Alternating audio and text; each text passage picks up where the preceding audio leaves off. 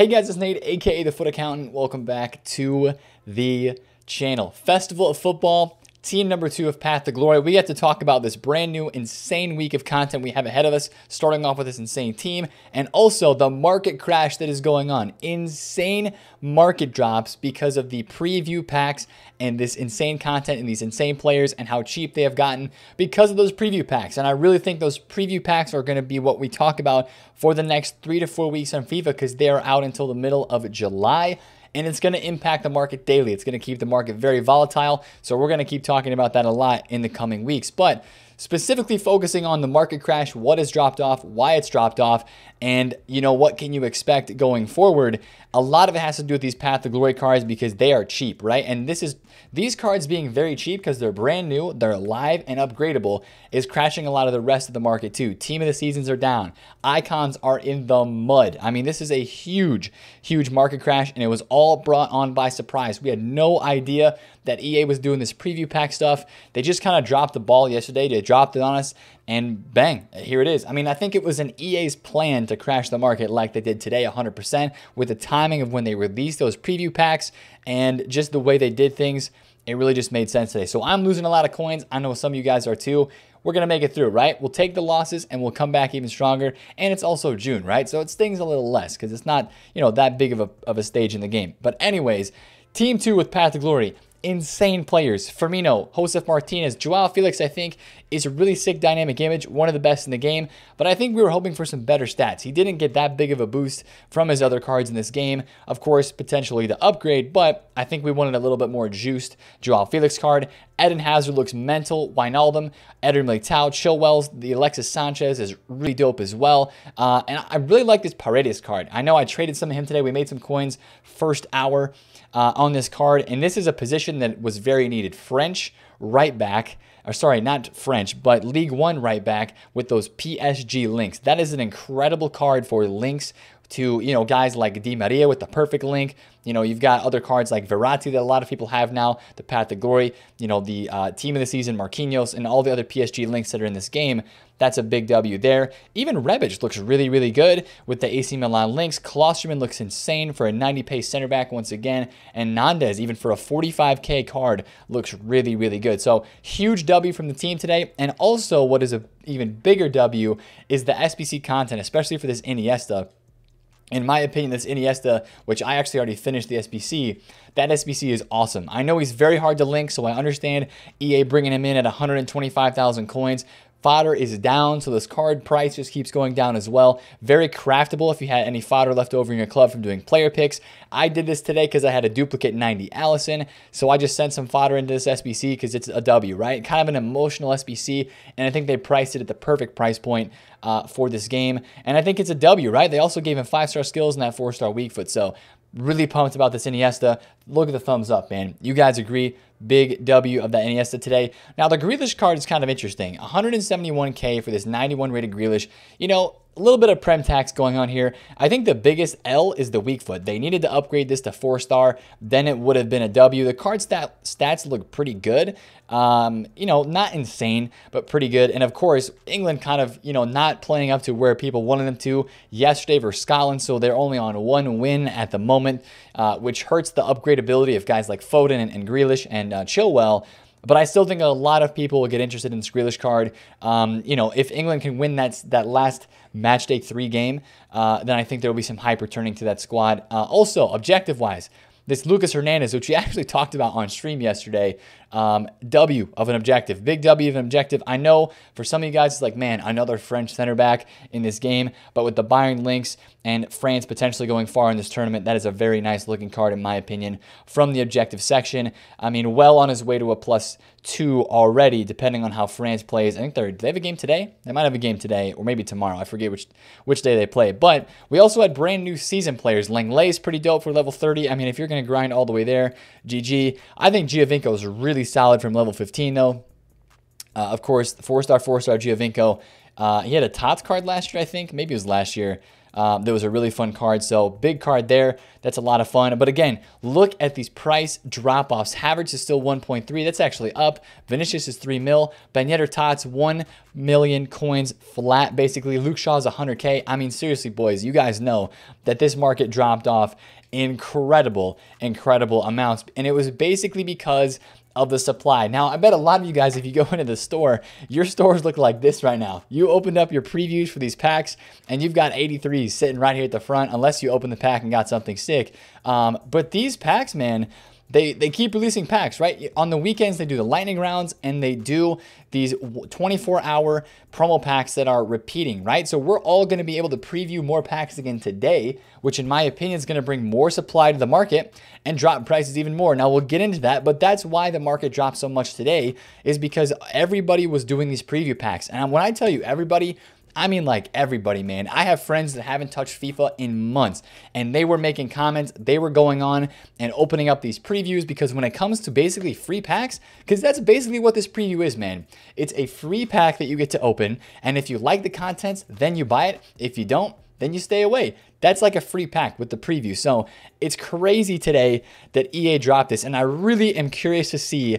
Again, we're going to talk about this a lot going forward, but I'm really curious to see what EA do with this. I know it seems like a bit of a trial run because again, on their um, on the pitch notes that they released today, this is only going to be out until July 16th, but it's going to impact the market every day. I honestly think today on the market, you're going to see SBC fodder and a lot of stuff that is in packs in this market itself probably drop off even more because there's going to be more supply today for these cards. These Path of Glory Team 2 cards are going to be so supplied, it's going to be insane. It's the exact opposite as last week, as we had guys like Griezmann and Vinicius Jr. with basically no supply on this market and on this game. And now you look, take a look at these cards, and you know, even some of these guys are still pretty rare. But in the heat of the day today, right before these guys were released, I mean, they were getting supplied a ton. Now, you know, the Team One cards are still a lot more rare. But if you take a look at a, the most expensive card that is in Team Two, now they're probably getting a bit rarer tonight. But this Pogba man, these guys had pages and pages of supply earlier today. Now, there's a lot of stuff that went on today that was. Um, you know, you could tell that EA was preparing for this, right? Now, of course, it's nighttime, so these cards uh, have a little bit less supply. But this Joao Felix last week, I mean, he would he would be a lot more expensive if this was week one um, compared to how week one went. With these preview packs being out and all the supply that happened, and um, I also think that he'd be a lot more rare on the market. But these cards are very supplied and they're going to get even more supplied today. And that's the scary thing in a sense is that a lot of these PTG cards are probably going to drop even more today on the market. But it's dropping everything else as well because since these cards are getting so cheap from all the supplies coming in from these preview packs that people are looking at, if they get something good, they're buying the pack and then selling the card, which is just bringing in all the supply. Um, you know, that's probably going to happen again today. And I think you're you have seen some prices rebound, right? Hazard was down to low 700s um, during at the very end of the England Scotland game today, which we were talking about on stream, was going to be the low point. That indeed was. Uh, Hazard was down to like 720k. He bounced back to almost 900. Joao Felix was in the low 800s. He's bounced back to a mil. Um, you know, those are the two, you know, main ones that I saw myself. I believe Wijnaldum was 300k flat. He's now back to 400. Uh, so you had some really, really big bounce backs, and I can show you the graph actually. I think Futbin would have would have caught it, um, and even some of the sales history would have caught it as well. But you had all the supply, and this is what happens when you have tons and tons and tons of supply on brand new cards like this. It's kind of similar to like community team of the season and Premier League team of the season when you had all the saved up packs. So let me take a look here. Let me go back to like um, 4 p.m. I think 4 to 5 p.m. was when these cards got really, really low. You know, we had, you know, it was about 5 p.m. You see this 840, 842, uh, 846, 849. There was some, still some sales in the 900s here, but he gotten down into the low 800s, 880, 869. And then you see this, you go from 800s and you go back into the 900s here. We've got a million a sale. We've got 900. I mean, there's a lot of undercuts as well, but as we got later into the night, 975, 1.02 mil, 1.02 mil. You see this card rebounding from like the low to mid 800s back up to a million coins where it is right now with this Joao Felix. So crazy movements on these cards today, and it's all about the supply. And the thing that again scares me is I think there's more supply coming today. Now, even some of the out of pack stuff, like I tried buying some icons. I bought four of these baby, uh, oh my gosh, 124K. That's an insanely low bid. I missed out on that one. But I bought four of these at 200,000 coins. He hasn't barely moved, right? There's a couple overnights. I'm going to try to sell him at like 230 once he gets rare. But I honestly think that a lot of stuff is going to get lower because, again, even this guy like Kessie, right? He was down to the low 300s, like 315 to 310. Links to the brand new Rebic, a very rare team the season item he barely bounced back. He's like 340, 330, 340. So that's a very little bounce back on some of these cards. It just seems like people are mostly focused on the PTG items. And I do think they drop more today. I do think they drop more today because everybody's going to get on. They're going to look at these cards' prices and um, they're going to say, okay, um, I'm going to do my preview packs once again to see if I pack anything sick and then and then go from there. And I think that's going to drop the market even more today. It's, it's literally dropping everything though. But again, these are live items that are very supplied in the market. People are packing them and they're getting very cheap. And that live just aspect to them is, you know, kind of more enticing than some of these team the season cards that were just released. Now, this guy Neymar is basically like, you know, he's he doesn't drop, which is kind of crazy to see. He's like market crash proof in a sense. That's pretty cool to see. But again, just tons and tons of crashing today. If we look through a lot of these squads, you see the prices that are down. I mean, Mertens is down a bunch. Uh, Theo Hernandez is down a bunch as well. We take a look at the Bundesliga. I mean, this Lacroix card, of, course, at the objective, Fernandez is down lows. Lewandowski 1.1. That's down a lot. Muller is a 200K flat. 219K. He was 200 flat. Goretzka 2-1. It's just crashing everywhere. But honestly, boys, again, I think that it goes lower. I really think that it does go lower. Sun is 728K. Wow. That's actually crazy. I think this stuff goes lower today because, again, I think that this constant pack, I guess, addiction everybody's going to be looking at these packs every single day. And there's, again, today with lightning rounds, the lightning rounds are going to get hit hard today on Saturday because everybody's going to go in here. They're going to preview packs again for the 50, 100, and 125K lightning rounds. And if they get something good, they're going to buy the pack and then go sell it and try to make the coins off of it. And that's, again, just why this market is crashing so, so much. Now, again, with all this supply that is coming to the market, fodder's in the mud fodder is in the mud and it is down bad. And to be honest with you, if we're having continual supply almost every day this week, even if we have really, really good SBCs, we're going to have a lot of supply coming in from those daily promo packs being released every 24 hours, which is, my opinion, what they'll do. Now, they might slow down the pack weight, right? They could really slow down the pack weight if they really wanted to. But again, all this supply coming in is going to make things interesting. Uh, I know you're looking at this fodder and like, man, Nate, this stuff is really cheap. 84s are 4K a pop.